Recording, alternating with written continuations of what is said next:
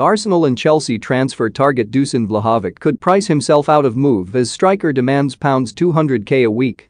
Fiorentina forward Dusan Vlahovic may price himself out of a Premier League move, with the striker reportedly demanding £200,000 a week. The Serbian is being tracked by the likes of Arsenal and Chelsea after netting 18 goals in 22 games this term. But according to the Daily Star, the 21-year-old may price himself out of a big money January move after demanding a huge pounds 200k a week contract after tax. Fiorentina are only willing to part ways with the striker for pounds 70 million too. In a boost to Vlahovic's potential buyers, Manchester City have already ruled out a potential move.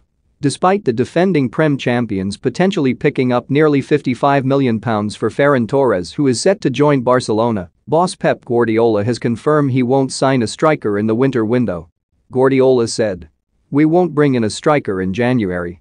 It's not done officially Ferran Torres's transfer, I know they are negotiating, it's close, that's all. When the club announces it's done. Is your downtime as epic as it could be? You can get 50 free spins at PokerStars Casino. Boom. Click here for all the details. TNCS Supply. 18 plus player responsibly. BeGambleAware.org free bets. Get over £2,000 in new customer deals, but whether Arsenal and co are willing to smash their wage structure to sign the 6FT3 and striker in January is yet to be seen.